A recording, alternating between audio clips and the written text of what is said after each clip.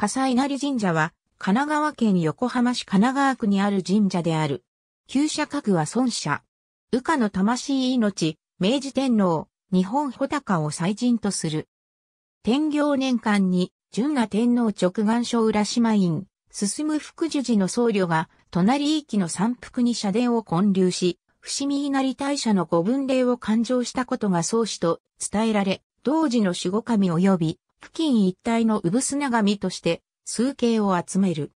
文永11年、現行の折には、鎌倉幕府の執権法上自習が菊一の名刀と、神霊を奉納して国家の安泰を祈願した。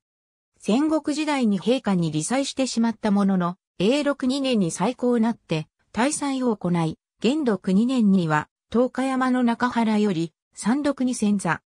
これより、車前を通行する者の傘が自然と脱げて地に落ちたことから、笠田厚稲荷大明神と称されるようになり、後に別当のマンデラのアジャリが、笠立の一時を訂正し、乃木にスメラを添えて、笠稲荷大明神と解消した。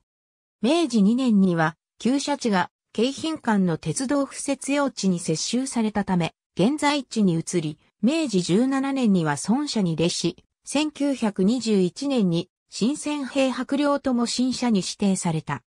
1923年の関東大震災により、社殿が半壊、昭和20年5月29日の横浜大空襲には、社殿、新法類のことごとくを消失する浮き目を見たものの、終戦後いち早く仮社殿が再建された。1979年、新社殿が完成。ありがとうございます。